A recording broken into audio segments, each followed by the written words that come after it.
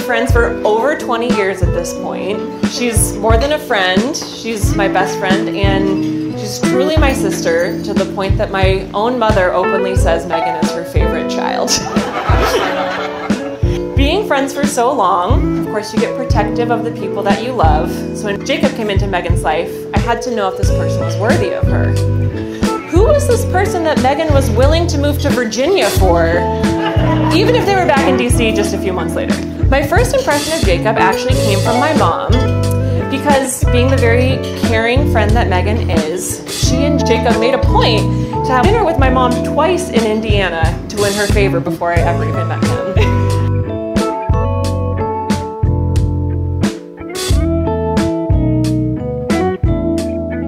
I'm going to call him Jake, but depending on when you met him, you could have several names for him Jake, Figs, Figgy, Jacob, a couple other things that I won't get into here.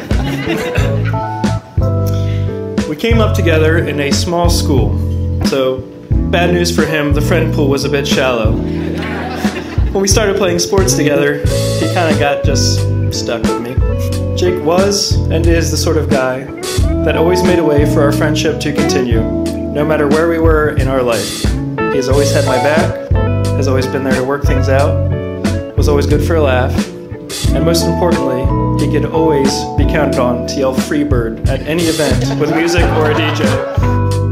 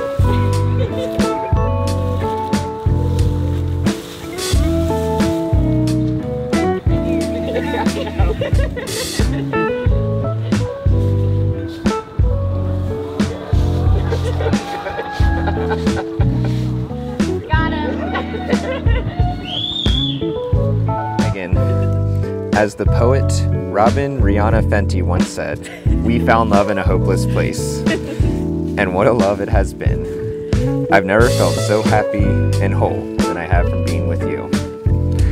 I go to sleep feeling like the luckiest man in the world, and I wake up knowing that I am. These past few years have been so full of fun adventures near and far. Couldn't have asked for a better partner to be quarantined inside with, or to fly to parts unknown.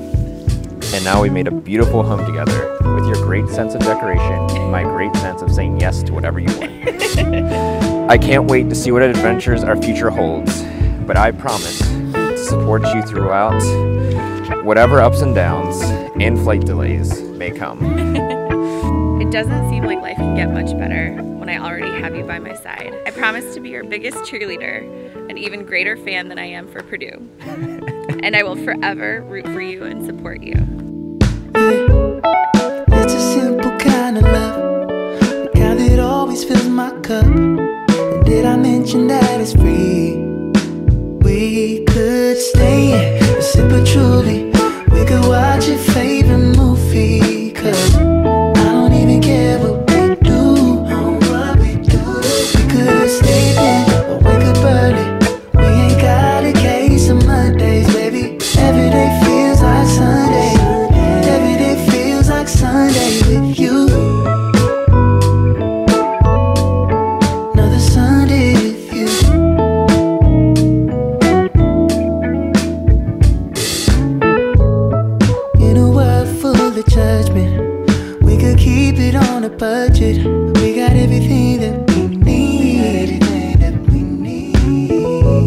So we could take a longer walk, and I worry about all the extra stuff. And did I mention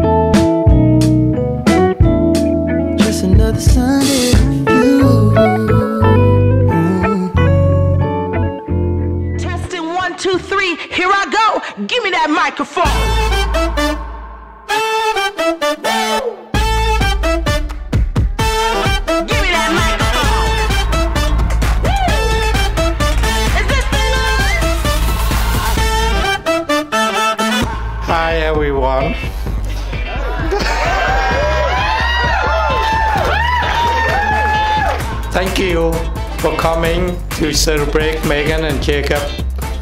We're so happy to welcome Jacob to our family.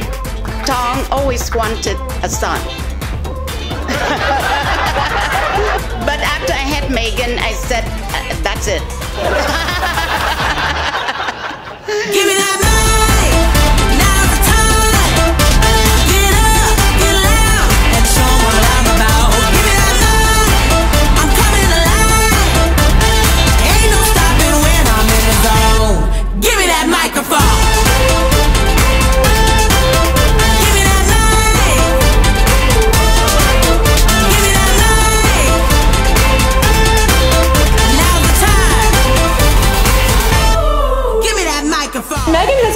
person that I turn to for advice.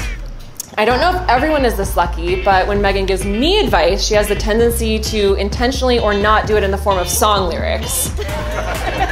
So, since a happy wife means a happy life, I thought I would give Jacob a few pieces of advice for being married to Meghan inspired by song lyrics. I'm not singing. I'm not singing.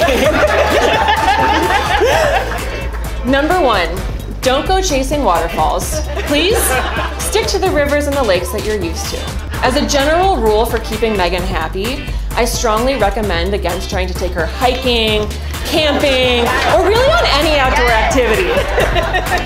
we are family. I've got all my sisters with me. Marrying Meghan means you've also married into the posse. For better or worse, I apologize for the nights that you have ahead of you drinking at Harry's, listening to us recount the same stupid stories from high school over and over and over again. Give me that